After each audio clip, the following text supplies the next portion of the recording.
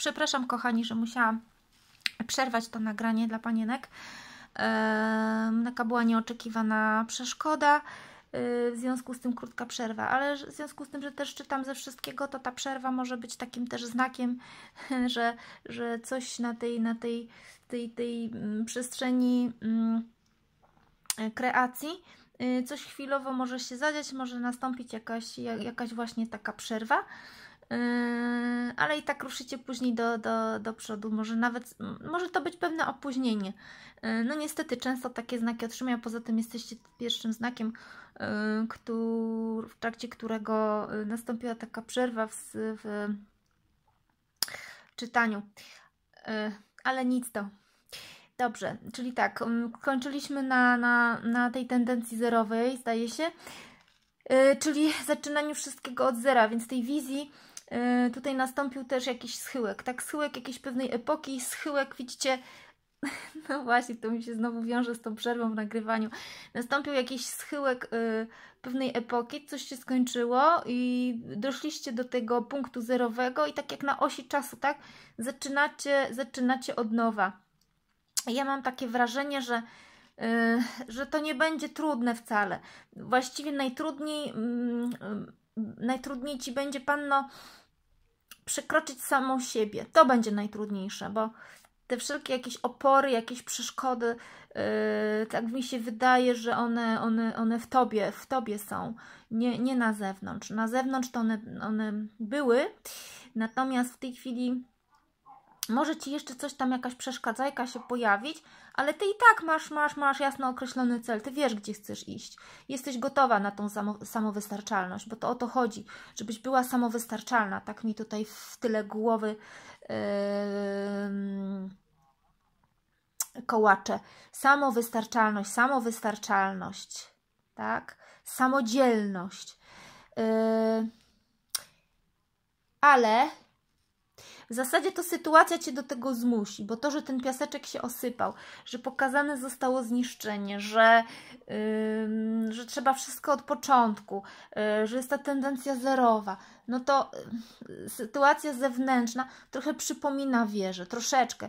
No, nie, ma, nie ma takich y, tragicznych takich obrazów y, zburzeń, tak, ruin. Tutaj nie, ja widziałam piękny złoty piasek krystaliczny, więc otoczenie jak najbardziej było piękne, lśniące, jakby sytuacja y, sprzyjała tej Twojej nowej drodze.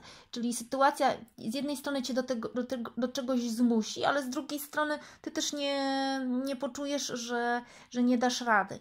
Y, a dlaczego Cię zmusi? No zmusi Cię do, dlatego, że na tej pustyni będziesz tylko Ty. No będziesz tylko Ty, więc tam nie będzie nikogo innego, więc y, ta samowystarczalność czy samodzielność będzie Ci tak troszeczkę z góry jakby narzucona. Mm, takie słyszę jakby, że takie jest Twoje przeznaczenie. Więc Ci to mówię. Takie jest Twoje przeznaczenie. E, to tyle wizja. Mm, natomiast teraz już przejdźmy do, mm, do rozkładu intuicyjnego. E, jaka energia będzie czekała Cię w lipcu 2019, co przed Tobą, w jakiej energii jesteś. E, karty z transferingu rzeczywistości tym razem. Szybciutko zobaczmy. Energia ogólna w lipcu dla Ciebie, Panno. Oto jestem mój świecie. Wędrowiec zamiaru y, zewnętrznego, karta numer 30. Tutaj jest para. Y, jest mężczyzna y, z różą i tą mężczy mężczyzna tę różą ofiarowuje swojej ukochanej, wybrance swojego serca.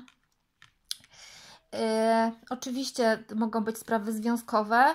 E, ten, ten, ten, to co wychodzisz z tej pustyni i wkraczasz, wkraczasz e, do, do swojego świata, do świata, który, sam, który sama będziesz kreowała i jak widzisz, otoczenie ci sprzyja, tak? Ktoś wychodzi do ciebie z, ktoś wychodzi do ciebie z ofertą, także, także jest dobrze. Okoliczności Ci będą sprzyjały. Twoja dusza, twoja dusza jest żądna e, zmian i wzdychasz z ulgą, masz, masz, masz ochronę anielską. Masz ochronę anielską, ja mam wrażenie, że tutaj Wszechświat Cię wspiera w tych Twoich działaniach. Mówię, jesteś na pustyni, ale kształtujesz obraz, tak jak na Pannę przystało, czyli kształtowanie jest tego obrazu poprzez wyszywanie igiełką systematyczne, metodyczne tego swojego tego swojego obrazka e, według własnych zasad, łącz, według własnych zasad, którymi się kierujesz i to jest taki pan, paniasty bardzo mm, klimat, ponieważ to kształtowanie obrazu dokonuje się na drodze sprawczości. Masz przed sobą tutaj kredo sprawcy, e, czyli yy, Tutaj psy szczekają, karawana idzie dalej. Karawana, czyli też element pustyni. Na tej pustyni yy, znajdujesz się ty, czyli ta postać, która musi być samowystarczalna, która stoi przed wyzwaniami.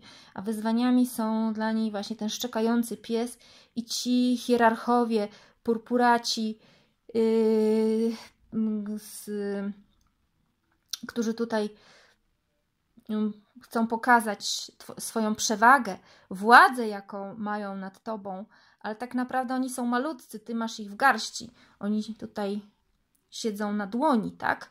Natomiast ty górujesz nad nimi. Jesteś sprawcą, jesteś yy, panem swojego losu, bo do tego cię karty też zachęcają. Jakie wyzwania przed tobą? Yy, sojusznicy, czyli Wyzwaniem będzie tutaj znalezienie e, sobie ludzi do współpracy. Yy, mm, takie wyzwanie też intelektualne mm, to może być. Natomiast to jesteś ty, tu jesteś na tym tronie, a, a tutaj te dwa sfinksy, które są po bokach, symbolizują osoby, które mm, niosą tę lektykę, w której ty się znajdujesz. Czyli to jest tak, że Bóg, wszechświat, jakkolwiek to nazwać, zsyła ci ludzi na twojej drodze, którzy przez kawałek tej drogi poniosą twoje walizki albo tę lektykę, żeby ci było lżej. Później zostawią cię gdzieś w tym miejscu, pójdą dalej i ty też pójdziesz dalej swoją drogą. Ale wszechświat ci sprzyja, tak? Wszechświat ci sprzyja, tu ci sprzyja wszechświat, westchnienie ulgi jesteś pod opieką, jak to dziecko, pod opieką anielską. Ten anioł zabiera węża, czyli wszelkie przeszkody zabiera, które mogą się pojawić na drodze i zsyła sojuszników. Dlaczego wyzwanie? Dlatego, że być może nie będzie łatwo znaleźć takich ludzi, ale wszechświat ci sprzyja. Prawdopodobnie ci sojusznicy się pojawią i te walizeczki ci poniosą. Yy, ale wezwaniem to jest Twoje wyzwanie, natomiast w wizji wyzwaniem była samowystarczalność. Czyli nawet jeżeli oni się pojawią, to na krótko przeniosą Cię przez kawałek drogi, dalej już i tak będziesz musiała iść sama, bo to jest na planie Twojej duszy. Żagiel duszy, ależ oczywiście, to jest właśnie ten większy plan, to jest ten, ten, ten, ten rozmach, to jest to, co, mm, co Cię wzywa, to jest Twoje wezwanie. Nie wyzwanie tym razem, tylko wezwanie. Dusza Cię wzywa do tego, do, do, do realizacji pragnień serca, żeby ten okręt nabrał prędkości, wiatru w żagle i do przodu, i do przodu. Yy, z otoczenia co płynie dla Panny? Strefa komfortu. Świetnie. Tak jak mówię, wszechświat Cię wspiera. To jest czynnik wyższy nadrzędny, natomiast w takim otoczeniu codziennym, yy, czysto relacyjnym, yy, masz to tak jak trzy kielichy, jesteś w strefie komfortu, możesz czuć się zaopiekowana, jednocześnie masz takie poczucie, że okoliczności ci sprzyjają, jakby przyświeca ci Masz klucz do tych drzwi, które chcesz otworzyć. Tu jest zresztą ten klucz, a, a u podstawy jest ta róża, którą otrzymujesz, tak? Jaką, z jakąś ofertą od świata. Tutaj się spotykasz świat, świat Cię wita, a Ty mówisz, oto jestem, bo ja wyszłam teraz ze skorupy, opuściłam e, swoją strefę dyskomfortu, a teraz chodzę w strefę komfortu. Ta strefa komfortu mnie wzywa to, żeby mi było lepiej, bezpieczniej, żebym się czuła w końcu na swoim miejscu i mm, spełniała swoje marzenia, bo ta karta zachęca do spełniania marzeń. I to płynie z otoczenia, y, więc y, jak najbardziej okoliczności będą, y, będą sprzyjały wyjściu z tej pustyni. Bo z tej pustyni, jak się wychodzi i coś próbuje się kreować, no to potrzebni są właśnie ci sojusznicy i potrzebna jest wiara w siebie i potrzebny jest ten wiatr w żagle, tak? I tutaj ten wiatr w żaglach się pojawia w postaci takiej, pod postacią też emocji, takich duchowych wartości. I popatrz, tu jest ten klucz, słońce i księżyc, czyli jest wszystko, co potrzeba. Właściwie masz, masz narzędzia w ręku. nadzieje i obawy w miesiącu lipcu. Korygowanie scenariusza. Możesz mieć taką obawę, bo bardziej to odczuwam siódemkę umysłu, jak siódemkę mieczy podobnie, chociaż tu mieczy w ogóle nie ma. Tu jest piękny ogród, piękne kwiaty. Kobieta trzyma bukiet, bukiet róż yy, u podstawy, zielona trawa. I tak tutaj słyszę, że wydaje nam się, że gdzieś indziej yy, trawa jest bardziej zielona. Nie, na tej twojej pustyni ta trawa wyrośnie. I wcale daleko nie będziesz musiała szukać. Nie. I skoryguj ten swój scenariusz. Pozbądź się tych swoich no, noży umysłu, które ci mówią, że trawa gdzie indziej jest zielona, bo ona nigdzie indziej nie jest yy, bardziej zielona niż w, twoim, w Twoich planach yy, teraz, które sobie kreślisz, tych pięknych planach na przyszłość. Chcesz Y, ruszyć z jakimś przedsięwzięciem, tak czuję, więc y, niech Cię nie blokuje, y, niech Cię nie blokuje ten nadbagaż myśli negatywnych, bo, bo nie ma, nie ma, nie ma to najmniejszego sensu. Natomiast tutaj widać, że mm, z tych wszystkich kwiatków powstanie piękny bukiet. Ty je pozbierasz, więc wizja jest jak najbardziej pozytywna. Więc obawy są raczej nieuzasadnione. Mhm. Twoja siła w lipcu. Twoja siła w lipcu. Reakcja ostrygi. Y, generalnie ta karta mnie się akurat dobrze nie kojarzy, bo jej cień to przede wszystkim to widzisz, ten król siedzi na tronie, on zamyka aniołowi usta, nie pozwala mu mówić, diabeł go gdzieś tam kusi, on słucha tych podszeptów, tych szatańskich podszeptów, natomiast nie pozwala aby ten głos anielski wybrzmiał. Yy, czyli jakby tutaj jest dominacja zła nad, nad, nad, nad dobrem. Tak? Poza tym ten król jest ubogi duchowo. Widać, że, że to jest, yy, wygląda bardziej jak żebrek, a nie jak król. Yy, ma, nie ma butów. Butów, które pomogłyby mu iść dalej, czy, czy w ogóle gdzieś, gdzieś wyruszyć. On musi, on jest przykuty do tego tronu. Zauważ, że musi siedzieć na tym tronie, dlatego że butów nie ma, więc nie pójdzie, tak? Nie przeszedłby tej y, pustyni. Y, co jest Twoją siłą? Reakcja ostrygi to znaczy, że Twoją siłą jest reakcja na pewne bodźce, na jasne odczytywanie bodźców y, i informacji płynących z zewnątrz. Co to oznacza? Y, wsłuchuj się w, w, w otoczenie i, i i sygnały i mądrze, mądrze je rozpatruj i, i mm, niech one będą bazą do podejmowania słusznych i mądrych decyzji. To znaczy, jeżeli mm, to tak jak ostryga ktoś, ktoś spróbuje tam dosypać piasku do środka, to ona zamyka się, tak? Zamyka, zatrzaskuje. I to jest Twoją siłą. Ty właśnie masz tak postępować. Kiedy trzeba się wycofać, to się wycofaj. Kiedy trzeba iść, to iść. To, to jest na tej zasadzie, że możesz, z, Twoją siłą jest to, że pod, y, y, taka e, elastyczność, którą Panna posiada, czyli możliwość dostosowania się do warunków panujących na, na zewnątrz, do tak zwanej pogody i koniunktury. W tym przypadku to jest Twoja siła, ten koniunkturalizm, który często jest pejoratywnie bardzo rozumiany, to tutaj to jest Twoja siła w miesiącu lipcu. Ty masz być właśnie taka koniunkturalna, czyli obserwuj, co za oknem, patrz na barometr i mądrze, rozważnie postępuj. Jak trzeba zatrzasnąć to wieczko, to uciekaj, to się zatrzaśnij, to się schowaj, y, to yy, zrób jakiś przestój, jakąś przerwę, a później, kiedy będzie trzeba, ruszysz dalej w swoją dalszą drogę. I to na tym polega mądrość. Na tym polega mądrość. y, żeby też bez powodu nie narażać się na, na straty, na zbędne straty, tak? Mhm. Y, co, ci, co ci pomaga? Nie to jest Twoją siłą, bo to, to jest Twoja siła, natomiast yy, co Ci pomaga? Jakie okoliczności y, z zewnątrz przyjdą w miesiącu lipcu? Yy, chodzi mi o, o po prostu yy, nie tyle, co płynie z otoczenia, ale po prostu o takie okoliczności na tej Twojej drodze życiowej, które, które Ci pomogą, które Ci pomogą. To będzie slajd, czyli skierujesz swoją uwagę jakby do środka dzięki tym ludziom, czyli yy, dzięki otoczeniu.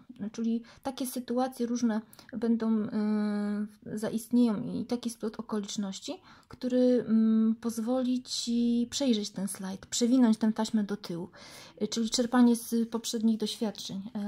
To będzie bardzo ważne przy podejmowaniu decyzji. Jaki wynik potencjalny na lipiec? Potencjalny wynik na lipiec znowu przypominający mi trójkę pucharów, czyli jakby dwukrotnie masz taką powtórzoną energię yy, radości i lekkości, wdzięk duszy, coś pięknego, tak? Karta numer 13, łącznie 4, czyli karta pracy. Jesteś jakby w swojej energii budowania czegoś od fundamentów. I teraz tak, tu są te trzy nagie dziewczęta, a u góry jest osoba, która im przygrywa. Niebezpieczeństwo jest takie, że w tej drodze do samowystarczalności uważaj, żeby nie tańczyć tak, jak ci zagrają, czyli koniunkturalizm przez pewien czas, tak, na pewnym etapie Twojej nowej drogi, tak, natomiast w dłuższej perspektywie oczywiście nie. Mm, lekkość i zabawa, korzystaj z, z, ofert i z tych sojuszników y, mądrych, y, z rad mądrych sojuszników, którzy się pojawią. E, wykaż też pewną taką lekkość, żeby tak wchodzić w to nowe bez, bez strachu, tylko właśnie z radością. E, ale pamiętaj, y, miej swoje zdanie. Nie tańcz tak, jak ci zagrają. Tego nie rób. Jeszcze doczytam z książeczki Dzień Duszy 13, bo to bardzo istotne, bo to jest wynik na lipiec. Trzynastka, bo tak to był odczyt intuicyjny. Natomiast yy, dokładniej chciałabym jeszcze doprecyzować. 13.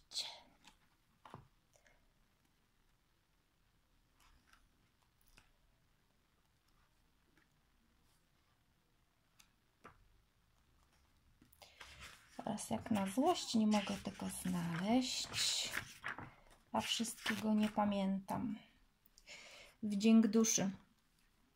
Tu jest powiedziane tak, yy, właściwie pytanie. Na czym polega tajemnica czarujących osobowości? To jest pytanie do Ciebie. Na czym polega tajemnica czarujących osobowości? Bo ta czarująca osobowość ma się właśnie wyłonić z tej pustyni, ma się wykreować. Yy, bierze się z tego, że wyrzuciły one z głowy negatywne slajdy. Zobacz. Co było? Slajd. I to jest na pozycji tego dobrego, co, co, co, co ci sprzyja. To jest wyrzucenie tych slajdów. Przewijasz film do tyłu i wyrzucasz te klatki. Dokładnie, klatki. Użyłam słowa klatki. Klatki, to co ci więziło. Wyrzuciły one z głowy negatywne slajdy i wstawiły pozytywne. Wdzięk to wzajemna miłość duszy i umysłu. Czarująca osobowość znajduje się w stanie święta duszy, rozkoszuje życiem, kąpie się w miłości własnej bez posmaku samouwielbienia.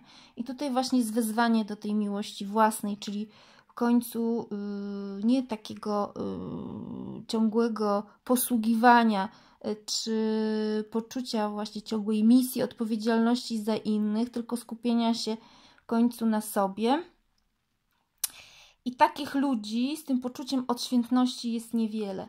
Y, masz szansę stać się jednym z nich. W tym celu musisz zwrócić się ku duszy, pokochać siebie i wejść na drogę do swojego celu. Przy tym zmienią się nie tylko cechy osobnicze, lecz nawet, lecz nawet ciało stanie się bardziej pociągające, twarz sympatyczna, a uśmiech urzekający. O co chodzi, że każda transformacja powoduje zmianę nie tylko na zewnątrz, ale, ale również wewnątrz i Często jest tak, że ludzie, którzy przechodzą przez transformację, nawet zmieniają się zewnętrznie, Gdy ktoś cię później spotka na ulicy, to nawet cię może nie poznać, bo będziesz zupełnie inną osobą. Wewnętrznie tak się zmieniłaś, że te zmiany nawet widać na zewnątrz. Yy, tutaj jest powiedziane, że kiedy człowiek jest z siebie zadowolony, yy, to po prostu robi to, co lubi. Odwracając to, jeśli nie jesteś z siebie zadowolony, to po prostu stajesz się niewolnikiem. Stajesz się niewolnikiem. Właściwie popełniasz zbrodnię na sobie samym, dlatego że to jest nieuczciwe to, co robisz. Nieuczciwością jest yy, robienie tego, czego się nie lubi. To jest po prostu nieuczciwe. Nieuczciwe jest życie yy, w zgodzie z innymi, ale nie w zgodzie z sobą. Czyli przede wszystkim trzeba żyć w zgodzie ze sobą. To, czego brak ludziom często, i dlatego lgną oni do takich osobowości, jak, jak ćmy do światła, właśnie do tych yy, do tych osobowości pełnych wdzięku, tak zwanego wdzięku duszy. To jest czysta emisja jedności duszy i umysłu. Tu nie ma rozbieżności, tu nie ma rozdźwięku. Osobowość y, z nadmiarem swobodnej energii rodzi zainteresowanie i przychylność otoczenia. I jeśli tutaj uda się do tego stanu, ten stan osiągnąć, Yy, to w zasadzie ta pustynia bardzo szybko zapełni się kwiatami i tą zieloną trawą. Ja tu nie mam wątpliwości, że tak będzie.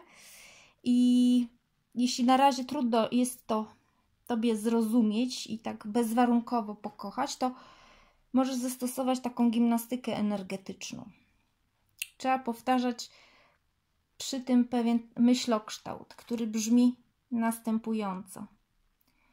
Przepełnia mnie nadmiar energii, moja energochłonność wzrasta, mam silną energetykę i z każdym dniem jestem mocniejszy, mocniejsza. Świecę się energią miłości i wdzięku. Jestem czystym źródłem energetycznym. Ludzie czują moją energetykę i przejawiają do mnie sympatię. I to sobie jak afirmację możesz trzy razy dziennie powtarzać.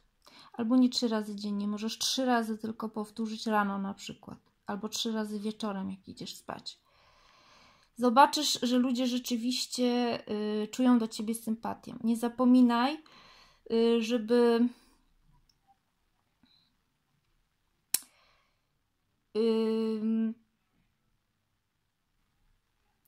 po prostu wzbudzać sympatię samej siebie. Samej siebie, sama siebie yy, musisz lubić. Stań przed lustrem, powiedz: Jestem piękna, jestem mądra, jestem inteligentna, osiągam swój cel, albo osiągnę swój cel, niech tak się dzieje, bo już tak jest. I to już się dzieje, to już się wydarza właśnie w tej chwili.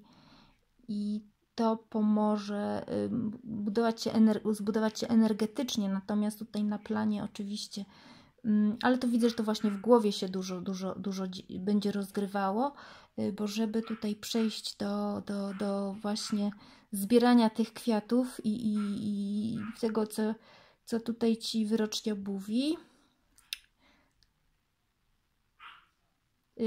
korzystania z owoców, czy tych, tych owoców tego ogrodu nowego, który powstaje na pustyni, no to tak, to przede wszystkim zmiana musi zajść w Twoim myśleniu, ale jesteś tutaj na dobrej drodze. Tu widać, że wszystko Ci sprzyja.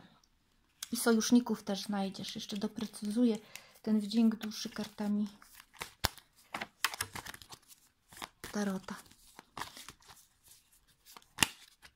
Chociaż tu w zasadzie już wszystko wiemy, ale tak jeszcze mam ochotę odwrócony as kielichów, tak? Yy, no właśnie, miłość bez wzajemności. O co chodzi? Nie kochasz siebie. To jest taka miłość bez wzajemności. Twoja dusza cię kocha zawsze, bo yy, ona aż tam kwiczy i piszczy w środku i domaga się zmian. Domaga się zmian. Puka, puka od środka. Miłość bez wzajemności. Ty po prostu Twój problem jest taki, że mm, masz duży niepokój emocjonalny i takie poczucie niskiej wartości. To jest niestety, niestety, yy, do, wiem to doskonale, panny mają często niskie poczucie własnej wartości. Niskie poczucie własnej wartości i tego proszę się pozbyć. W miesiącu lipcu i w ogóle proszę się tego pozbyć. Bardzo Was o to proszę. Dobrze, jeszcze karta z mojej wyroczni.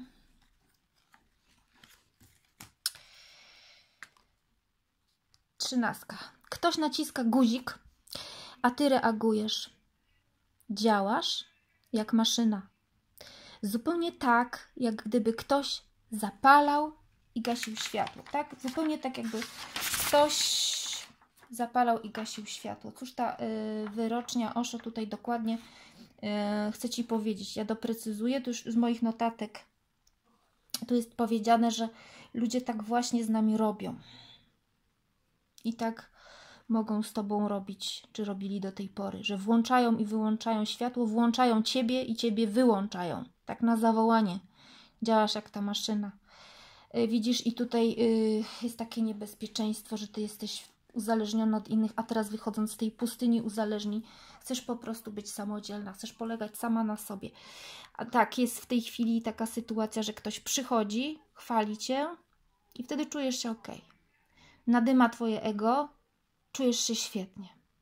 Ale co potem? Potem pojawia się ktoś inny, albo nawet i ta sama osoba. Kto to ego przekłuwa i Ty spadasz sflaczała, sflaczały na ziemię. Yy, tu wyrocznie chcę Ci powiedzieć, że mm, nie jesteś panem samego siebie.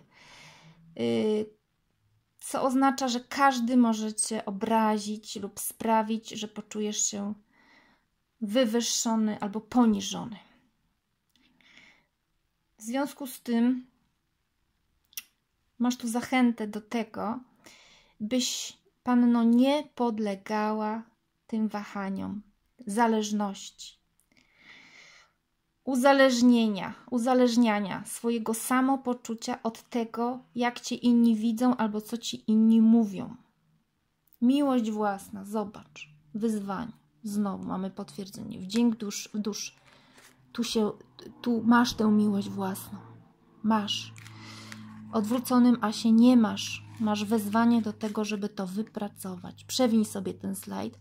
Pozbyw się, pozbądź się negatywów z umysłu jak trzeba, bądź jak ta ostryga. Zamykaj się i otwieraj, to znaczy nie dopuszczaj tych ludzi, którzy ci te głupoty mówią.